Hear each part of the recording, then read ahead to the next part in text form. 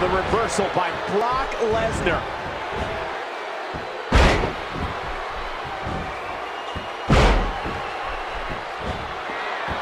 Lesnar.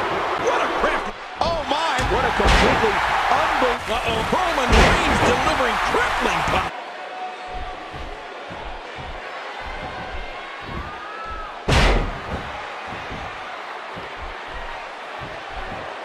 Here we go. Our truth setting up. We might. Roman Reigns smashes that one. Ooh, John Cena may have it. That's it. He's out.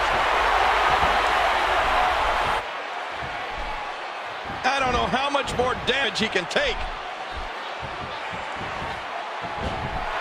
You know, if a superstar is going to sign a attitude